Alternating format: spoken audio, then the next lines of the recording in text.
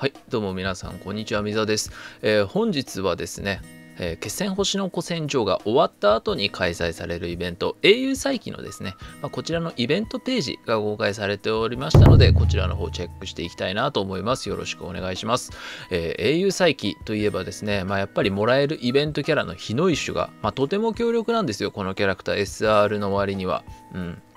でまあ、ティアマト・マグナの確定においてはですね特に顕著に有用なキャラクターとなっておりまして、まあ、アビリティ構成としてはですねかばうと攻撃力ダウンが特徴的だったように思いますね。でまああのかばうと攻撃力ダウンということで、まあ、そのティアマト・マグナにはかばうが結構必要だったりするんですよ、まあ、必要というかあるとあの確定に便利だったりするんですけれども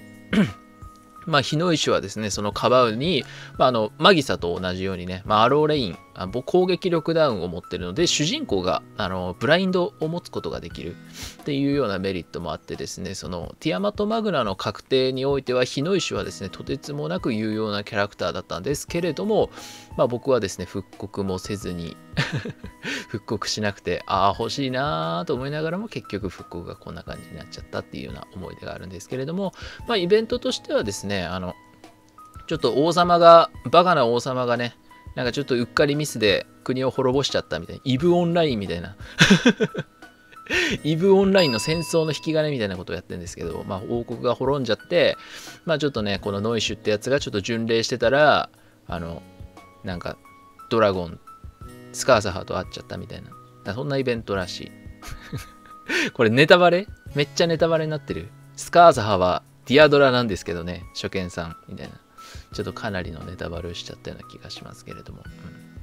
まあそんな感じのストーリーみたいです。スカーサハのね、人気が高くて、ちょっと前にあのトライアルキャラクターですね。トライアルキャラクターでなんかちょっと風キャラで、ちょっとアビリティがスカーサハっぽいなーっていうことでね、なんかちょっとそのプレイアブルキャラクターになるんじゃないのっていうような噂も聞いたり聞かなかったりといったような感じなんですけれども、で、まあ、イベント限定キャラとしては、まあ、復刻イベントということでね、当然、ノイシュが加入いたします。こちらの方はね、まあ、取らない人いないと思うけど、取った方、絶対に取っておいてください。強力だと思います。特にマグナの確定終わってない方はね、えー、便利なキャラクターなので、取っておくといいと思います。そして、うん。えー、こちらの最後ですね。まあ、ここら辺はいつものなんですけれども、最後、えー、最終上限解放のキャラクターがですね、こちらの方で発表されております。えー、ノイシュの最終上限解放は可能に、草引き師ノイシュということでですね、えー、ね。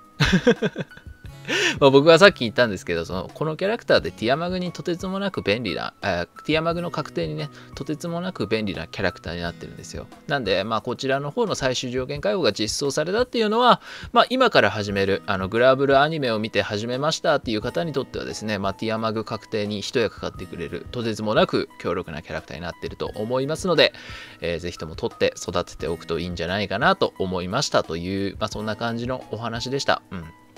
まあ、古戦場はまだまだ続くんですけれども、えー、まあ次のイベントにも目を向けていかなくてはいけないと。まあ、ノイシュの後にと同時にですね、ゼノイフリート撃滅戦、あのー、ちょっと装備が整ってきた人用にね、ゼノイフリート撃滅戦も実装されますので、うん、